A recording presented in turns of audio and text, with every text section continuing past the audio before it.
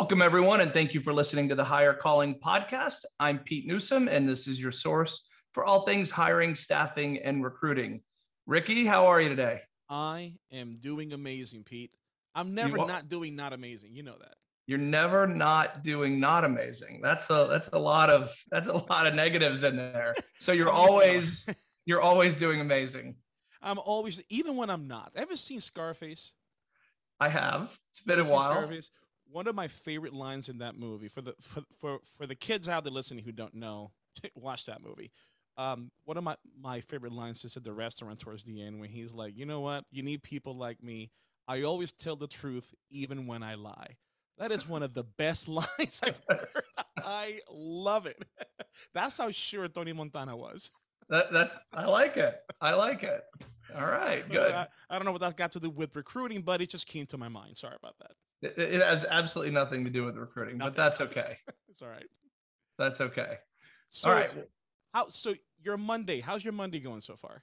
It's it's going well, primarily because the weekend went really well. I have my FSU shirt on, representing as if I don't have enough FSU stuff in the background already. But um, it's a special day. We just won our first game of the season after an 0 and too many to yeah, that I want to mention out loud start, and it was Parents Weekend, so we were there for it. I have a nice. uh, yeah, my my daughter's a senior there, and my son's a sophomore, so it was a it was a good weekend. A little too much partying and uh, uh, up at the college campus, but all was well. Yeah. A little bit too much party in Tallahassee. I've never heard such a thing, Pete.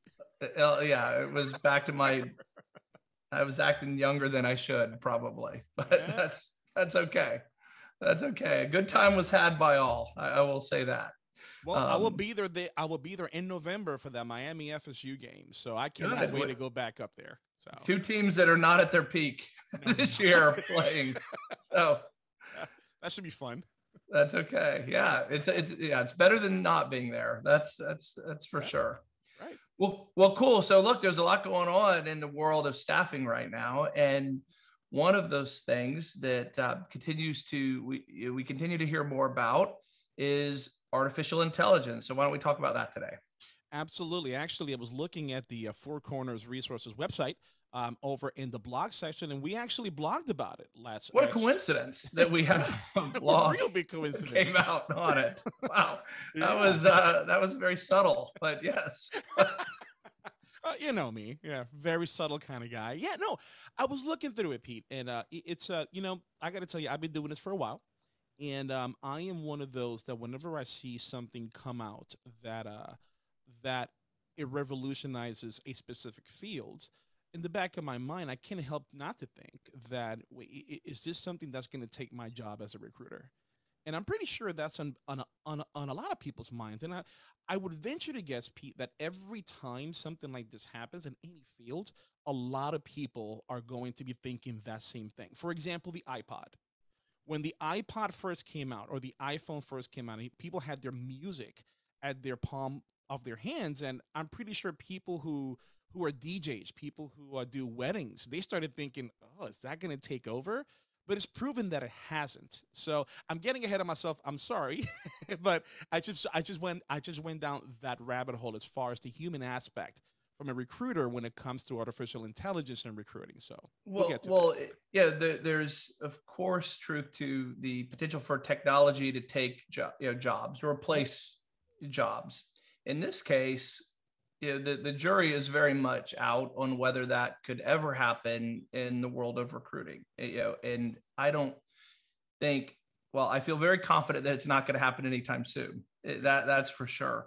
Uh, how prevalent it is, uh, you know, in the space right now is, yeah, I would say not very. And, and the reason is because I don't think there's a lot of solutions out there that are truly artificial intelligence. I think there's things that claim to be artificial intelligence, but that, that's vastly different than um, than what I see as as um, automation tools uh, I, I, think there's products and solutions that are based on if-then statements yep. that um, will guide uh, you know uh, events you know down a specific path.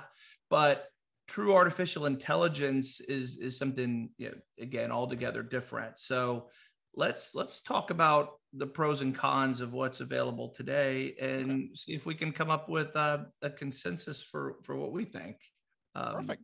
is really going on right now. So so let's start with this pete. Um from now you started this company about 16 years ago right? So you obviously know what you're doing.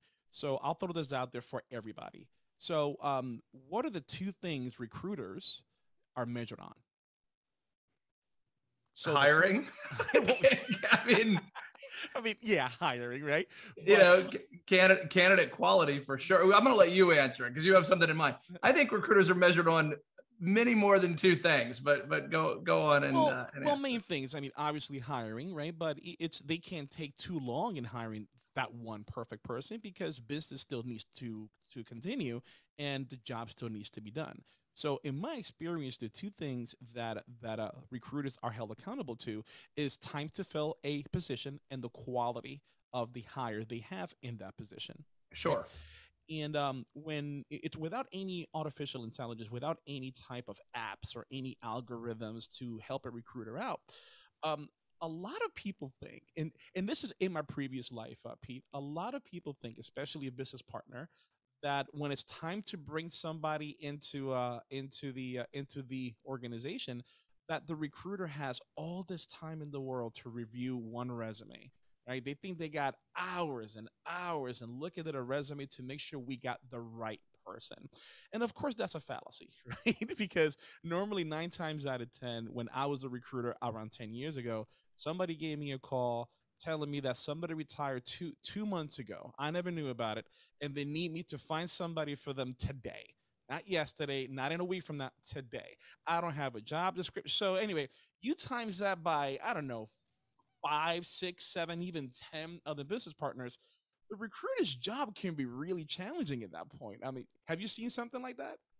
Yeah, except you're what you're describing is corporate recruiting, Correct. right? When you when you're talking about yeah. business partners, yeah, that that is you know you you come from the corporate world of, uh, uh, of that where you know now that you're in the staffing world um, you know time and speed are always a factor a huge factor in what we're doing and i would say significantly more so than than even in the corporate world right? So where you you know didn't have time then we have even less i think on on the staffing side. Mm. because what we do is is is competitive. You know when you're the home team as you are as a corporate recruiter um you know you you, you sort of have an exclusive situation you know at the end of the day. Where for us we're replaceable um yeah we we we're we're we have to earn our keep you know every step of the way so i, I know this is off topic but I, I do think about that um you know from time to time that time is is is measured relatively depending on your perspective, depending on your situation. And you know, for us, it is always at the forefront of, of what we do, as is quality. So to bringing this back to your point, it, speed and inefficiency, while relative, are necessary in every recruiting scenario. As is quality, right? The the the you know the, the you have it has to be there, and so um, I agree with you that those two things, if you were only counting two, that those would would be it. Yes.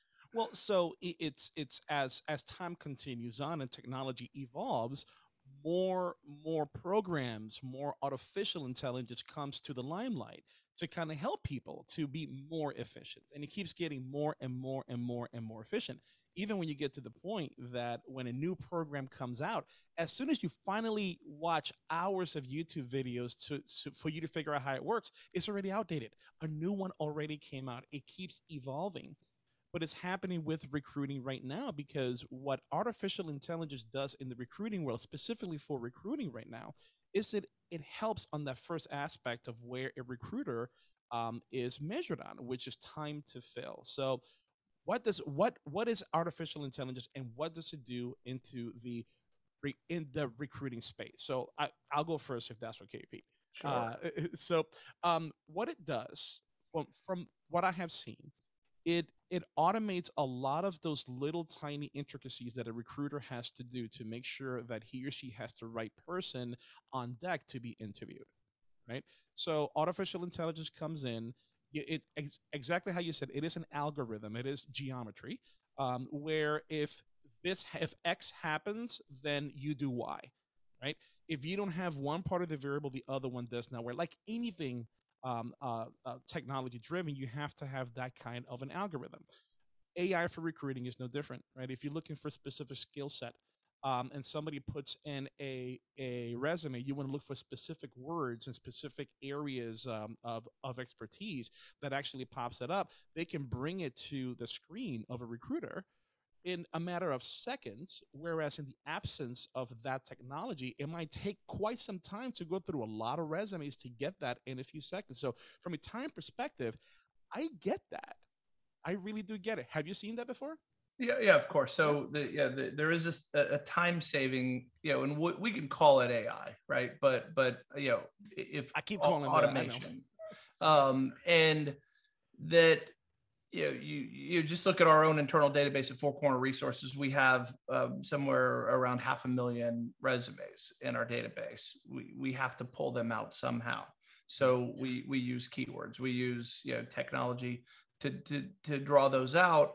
Um, similarly, if you go to LinkedIn or Indeed or any of the online job boards to try to pull resumes down from there and do isolate your your your candidate pool, right? You want to narrow your, your search, uh, then yes, of course you you want to use those those tools that are available, and um, that you know there, there's a time saving you know for sure. I think the the AI claim that's made by some of the vendors out there is that you you put in these words that you you, you define your criteria if you will and that they uh, that their tool will go out into um, you know the world of the internet or specific job boards and be intelligent enough to pull in only the candidates you want. And that that's where i would say it's better than nothing uh, for sure but it's it's it's not quite as intelligent as you you would think because it's just identifying words on a resume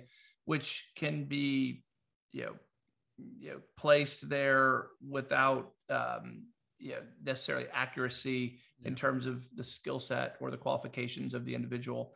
And so it, it's an yes, it, it, but it's it's a they save time and they do create efficiency in the process for sure.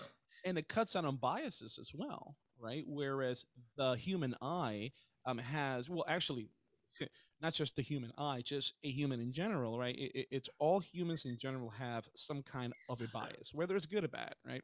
What makes it bad is whether we act on them or not, right? And and some of those biases are are um, unintentional or God, what's the word I'm looking for? Unconscious. Unconscious bias. Yes, thank you, sir. Sure. Yeah. So sure. you know, it, a lot of those biases are unconscious bias, and it, it, it's look i'm no i'm no doctor and i don't claim to be a doctor or any kind of a scientist for that matter. So um, uh, i'm stepping out on a limb here to say that the human brain will have a hard time competing with any kind of an algorithm to make sure they select a specific person and not have that many biases right? Because the, the human eye the, the human brain has a tendency to to relate to people that they like that are people that are like them right? Now i have studied that. So and and that's how you turn an unconscious bias into an conscious one if you know that and you have to really understand that piece to make sure that you're not using that bias to make a selection. Where ai comes in it eliminates that. So from a legal perspective and again i'm not a lawyer either there's a lot of things i'm not pete right? So so from a from a legal perspective i can understand how this would be something that this would make any legal department in any large organization extremely happy. Because it um if in case they get challenged they can say look our recruiter isn't the one that's discriminatory i guess it's our our software if that's the case right?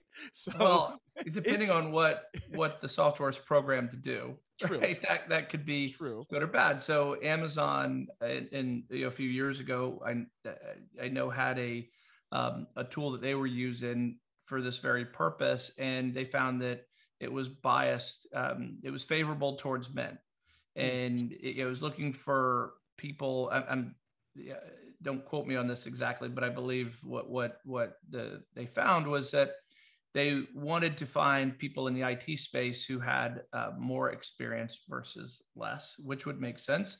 And because men, you know, are there are more men in, in IT, then it was slanted towards men. So it was a self you know, perpetuating, you know, situation, I believe, where um, it was biased against women, which was not the intention of, of Amazon, of course. It was just the way the the, te- the program was working, and so they they they stopped it. But you know that you know the software is only going to be going to be as good as what was pro it was programmed to be, yeah. and that's where you know as a as a professional recruiter, which is you know, to say someone whose product is a person, right? I mean, that's what you know a a, a recruiter you know has, right, as their product. It, it really, and so you, unlike a you know a, a t-shirt, if you're if you're selling you know shirts, right, the, the shirt is just the shirt, right? It's yeah. it, it's contained, you know, it's the size, it's the material, it's the quality of the stitching, whatever it might be, the color, but you know you, you can't replicate a person. You you can't um you, what there's so many there's limitless variables when it comes to individuals. So to rely on a machine right or a computer program to make assessments of of a person beyond what's on a resume right? You can identify words on a resume that's the cover of a book and i've probably said that before on this podcast that's all it is. You know that that I can't make any determination on the individual whose resume it is based on the resume itself. I can right. pick it out of a pile based on the frequency of words that are used on it, a degree, a certification, you know, a past employer, whatever it might be. But that that's it. So it's very surface level um, information that I can gather that way, which which it to me does nothing more than just you know, give, give you, you know, you know, it thins the pile that you need to look through at, at best. And, and, and, and this is why um, I'm, I'm, I'm in this position where I'm I'm comfortable in saying that I like the AI function in the recruiting world, but only as a tool, only as a tool, um, and not as a as a deciding factor right? So, because yes, it is a tool that can help a recruiter do his or her job a lot faster, more efficient, better quality. But exactly how you said, it's a book. So, from from from what I'm reading and from what I have seen in the past, AI shows you great books that you might like. But it's up to you to actually read the book, take a deeper dive into that book to see if you actually would like that book, right? Because the book gets presented to you based on information that the system knows about you right just to make sure that that uh, based on that data being put in there um, uh, they, they are presented to you so that's why i like the combination of artificial intelligence with a skilled recruiter because a skilled recruiter is able to take this ai function and use it to his or her advantage to make sure we got the right person at the right time way faster than had AI not existed, but it cannot be a deciding factor. It's got to be a tool. Another great example, Pete, um, is you know because AI can actually um, in recruiting can look at a resume. If you're saying I want somebody that has a master's degree and a PhD, yeah, AI can find that for you. Look, this person has a PhD from Cornell or a PhD from MIT or whatever. Fine, but all an education is is that this person has the tools to perform the job it's not until you get to the interview and you select that person to bring them in when you find out if what how they're using that skill set they learned in school and I don't think AI can capture that, right? That's when you need that skilled recruiter to make sure they ask the right question from a human perspective to make sure we get the right person for the role. Yeah, absolutely. I, you know, it's there's it's a tool, right? Uh, like any like any tool, it, it needs to be used for you know, the right tool needs to be used for the right job. Uh, but the person using the tool, the the person, right, the human yeah. using the tool is going to make the difference ultimately on how effective you know the tool can be applied. So I I, I think we're we're on the same page there. Um, that it it's it's helpful right? But it's not. It's not a. It's not. It, it's not the end of um, of the recruiting profession, you know, by far. Now, can it ever be? Right. That that's what we started talking about at the beginning of of, of this episode. Do we see a path where that could ultimately happen? Do you think? You know what? Technology evolves, and technology has be, has been evolving forever, right? As soon as uh, somebody invented the wheel, that's technology. It's just prehistoric technology. What happens is is that as technology evolves, how much time it takes for it to evolve it gets shorter and shorter and shorter right? right? so for me to say based on previous history that it may not happen i think that it, it's it's a little bit short-sighted um from from my part but pete i never thought we would we, we would ever live in a world where you could just hit cruise control or whatever control on an, a fully electric car and it takes you from point A to point B without you ever touching the wheel or anything like that. And and we have that today. Now, uh, of course, I'm talking about Tesla. Uh, you know, Tesla, right? But even then, because I've been in one before, if you do that, it kind of tells you you still got to pay attention, right? Because at the end of the day, this thing makes mistakes, right? So we're in a world where we have autonomous vehicles. So I don't know, man. I really think it's gonna come a time, from my perspective, it's just me me being worried that yeah, I really think in about 10, 15 years there could be a fully functional Android type of a recruiter. Skynet, man, is happening. I'm yeah, telling I'm, you. so I'm gonna reject that idea. Okay. It, it, it, Got it. it. Again, because you know the you know with the the the car scenario, there is ultimately a finite number of decisions that you're looking for that car to make. Yeah. Um, you know, what's what's what's what's near it, what's in front of it, what's you know speed. Yeah, there's I mean it's it's impressive technology. There's no doubt about it. And I look forward to the day when we can drive and just sit back and and not have to do any of the work. Uh, that, that'll be great. yeah, that'll be great. And and I've driven, you know, it, it you know it exists now, right? It's there. But I will go back to what I said earlier.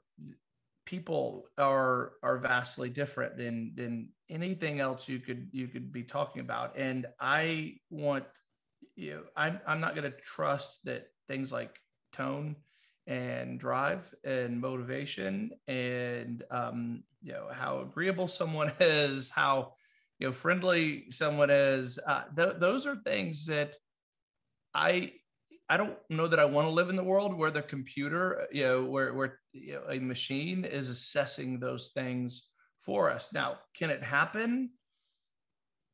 Sure in theory but i don't it, it I, I don't know how that I would ever want to put my faith and trust in in, in a computer making decisions about you know you know so, soft skills and and and personality traits. Because look at it this way now you may as well let your uh, the computer pick out your spouse right? If that's the case. Because why why why not? If i mean the same things would apply right? I mean not that you know having you know a life partner is the same as as hiring an employee and or an employee choosing to be hired but it's probably the next closest thing if you think but, about it. But that exists today, though, right? I mean, aren't there apps that if you swipe one way or another, that means they match somebody to you like you know one of those dating sites I, obviously at the end of the day you have the ultimate deciding factor whether you want to go out with that person or not. And of course yes. i mean but but that's a that's a big gap that you, you can't just be dismissive of you know? Yeah. you get to choose um you know wh- whether to swipe or, or not whatever that is. I mean no different than here's a, here's what's on the menu pick what you want. The restaurant is determining that you know based on whatever criteria they've applied, this is what's going to be on their menu, right? What's availability, what's available for you know, for food in their in their local market, what the cuisine you know is going to be. And we're way off topic with this, but um no, but you know what? But hold on, Pete. You you I don't know if you meant to do this or not, but you just gave an amazing example of why AI and a recruit a live recruiter should work together, right? And and and, and that's what's crucial that why that partnership is there because exactly how you said they give you all the options. You have the ultimate deciding factor on who you want to go with based on what the options in front of you. They don't check it for you. Same thing with ai for recruiting.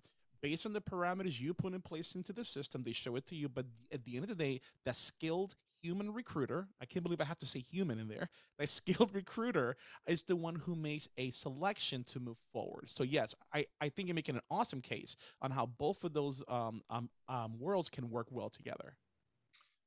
Yeah i mean I, so i would i think the way recruiting is done and this this is not for today where it's because it's too lengthy of a conversation but the the resume itself is somewhat antiquated. It, mm-hmm. it, hasn't really evolved much in many decades. Job descriptions, same thing. They don't necessarily represent how hiring is done when it's done right. Because at Four Corner, and we're not the only ones who do this, but I think we're the leader in doing this. We look beyond the job description and want to have an actual conversation with the human who's doing the hiring and is going to be managing those individuals individuals uh, to say tell me who you want. You, to, you know describe what the right fit is based on your of course the skill set that's needed and experience or background that's needed but also the, the, soft skills where i think that's what makes a difference between a successful hire and, and one that's not.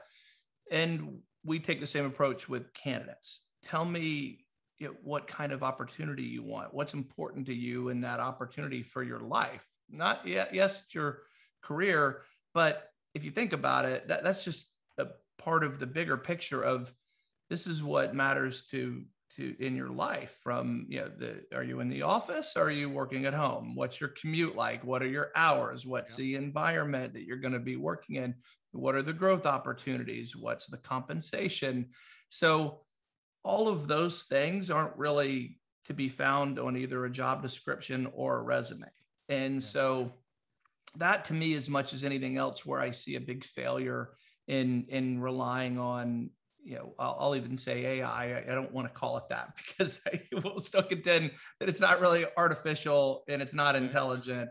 It's just it's just a program that's being applied in in what's commonly available on the market today. So I I kind of reject that it's more than just a way to screen and and sort through resumes efficiently to let the humans do their work. And you know, if you timestamp this and look in 30 years and say wow you really sound foolish now maybe right? Maybe but um like i said I, I don't think i want to live in that world um yeah, where where where you know, machines are matching us up you know, for anything um, that's that's important.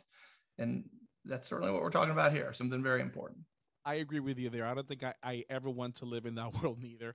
Um, it, it, it's but you know it, it's we just have to make sure that as as a recruiter, we just have to make sure that um, we still use the tools that are there, but we have the ultimate deciding factor, right? And we have to make sure that we still um, from a from a from a staffing perspective that we do what's best for our clients, which we do. From a corporate perspective, we do what's best for our business partners, which which people do. And you know what, Pete? We do something here, Four Corner Resources, that I wish I would have known in corporate America. And um, one of the things that I wish I would have known back then is what we do as far as uh, building a profile for a candidate right? Reaching out talking to a candidate not have any any any specific job in mind but we know that skill sets are hot. Let's make sure we build that profile and we build that ourselves by actually going out and calling people right? Um, we don't do that in corporate america right? Because in corporate america is we need a requisition uh, a a a a position we open up a rec we got to go find that person. And what we do here we actively are looking for skill sets that we don't need right now, but we're going to need later on. But you build that relationship, the human to human relationship that I don't think AI is ever going to replicate later on. I don't think that's ever going to happen from an AI perspective. No, it, especially when you're trying. What you're describing is you're you're, you're trying to fit the the the, the person, you know, the resume, right? It's not a, even a person at that at that point into the job opening where we try to we really reject that way of matching. We want the candidate to tell us as much as they can about what what it is they want before we introduce this specific job because everything's going to be skewed talk about bias right if i tell you this is the only job i have and then i ask you if you're interested in that job and you you need a job you're gonna, you say, right?